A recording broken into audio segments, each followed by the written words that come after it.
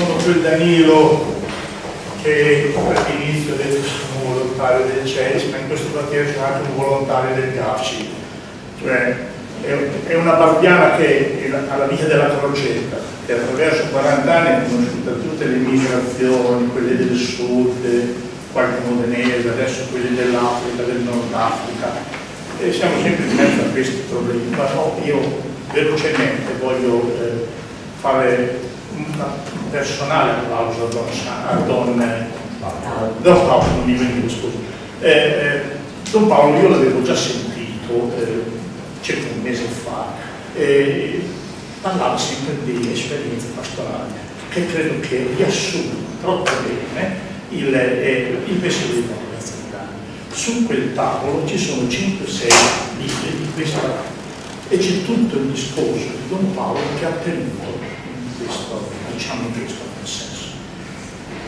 Allora, cosa posso aggiungere su Don Lorenzo Milano che può essere di Io faccio parte del gruppo di Carezzano da vent'anni e faccio parte anche della fondazione di Lorenzo Milano perché? Perché certo sempre nel modo di essere. E ricordate di questo, eh, i ragazzi di Don Lorenzo Milano, quelli di San Donato, hanno qualcosa come 18 lustri, cioè 90 anni circa, continuano a trovarsi tre volte al mese e l'ultima volta del mese leggono sempre una pagina di esperienza pastorale. Perché? Per non criticare sicuramente, ma anche perché c'è sempre da prendere qualche passaggio. E quindi eh, leggendo perché solitamente conoscono tutti le professoresse senz'altro eh, Don Lorenzo Milano per quello che ha citato in lettera a una professoressa e, eh, e, le lettere che ha inviato ai cappellani militari e che ha inviato al, ai giudici.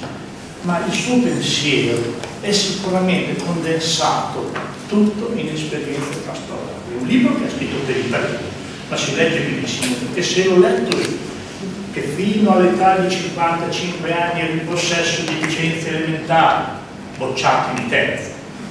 Cosa ho sbagliato? Non andare a scuola alle 150 ore per starmene a scuola tre anni in 150 ore. Quindi io sono un povero ignorantello che dal pensiero di Don Lorenzo Milani ha accolto questo.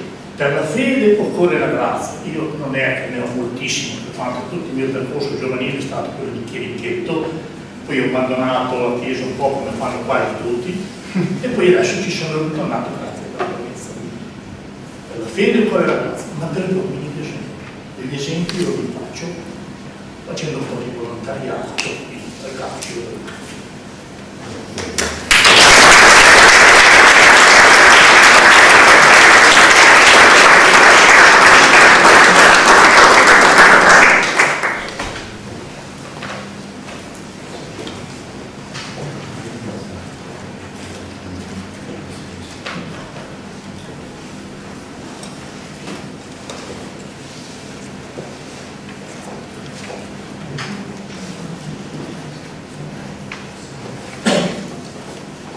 Anni in 150 ore. Quindi io sono un povero ignorantello che dal pensiero di Don Lorenzo Milani ha accolto questo.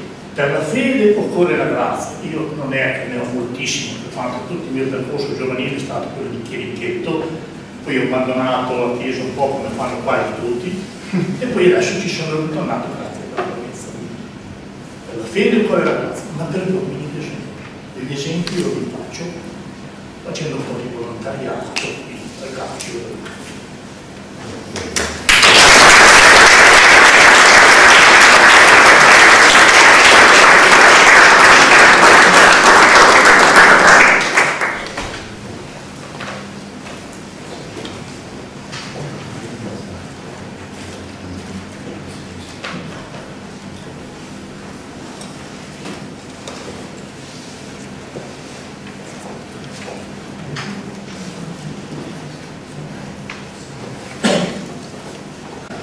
al calcio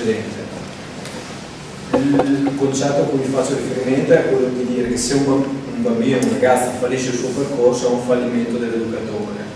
che è una cosa che ti mette addosso una grossa pressione, sinceramente, soprattutto su chi non ha le spalle così diciamo robuste come chi ha cominciato da poco a fare questa, questa professione ma in cui crede tanto quindi si sente il peso, non lo vede come diciamo una sconfitta ma sente proprio il peso del, può sentire il peso del, del fallimento.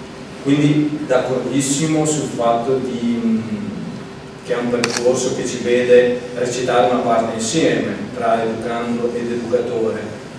Sul fatto della, della sconfitta secondo me bisogna approfondire la questione perché sennò si rischia un po' di, di sentirsi veramente un po' schiacciati dal, dal rischio del fallimento. Ecco.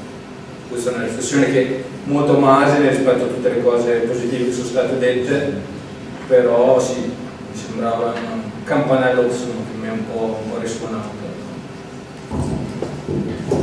Eh, beh, qui io eh, ti rispondo eh, semplicemente dicendo che per Lorenzo Milani eh, la pratica educativa non è mai una pratica individuale, cioè non è mai uno contro molti, rapporto 1 a, no?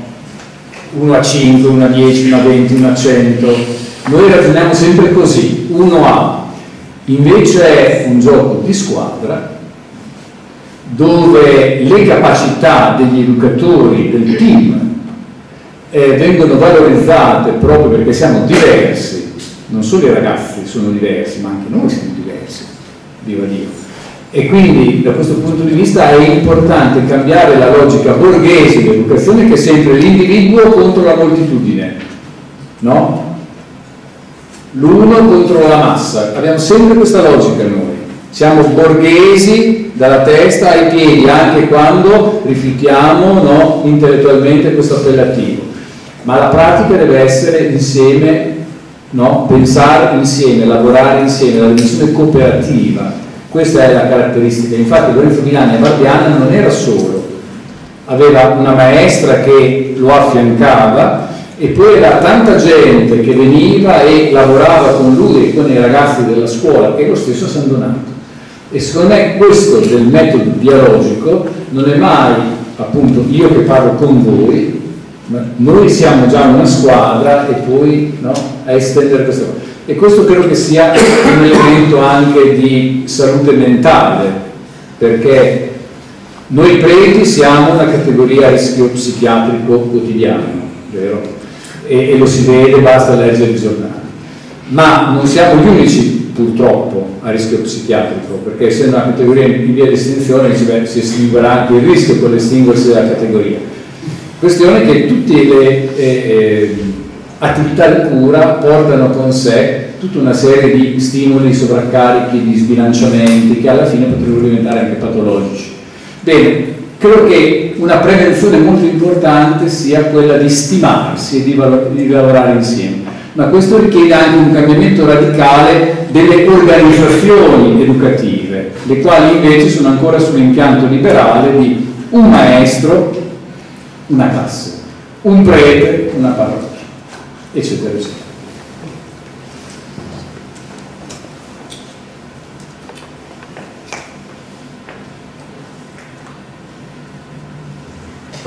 Facciamo la pausa alle